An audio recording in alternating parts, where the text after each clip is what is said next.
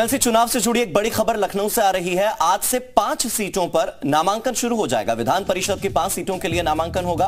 तीन खंड स्नातक और दो खंड शिक्षक निर्वाचन क्षेत्रों के लिए चुनाव होने वाला है।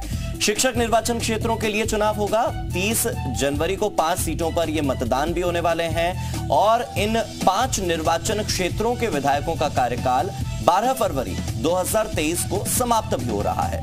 निर्वाचन की अधिसूचना 5 जनवरी को जारी होगी और नामांकन 12 जनवरी तक दाखिल किया जाएगा।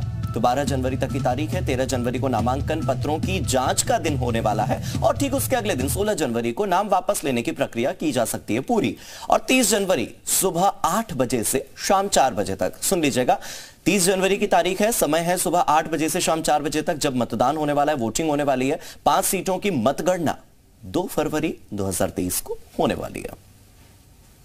तो किन किन सीटों पर चुनाव है, वो भी हम आपको ग्राफिक्स के ज़रिए समझाने की कोशिश कर रहे हैं।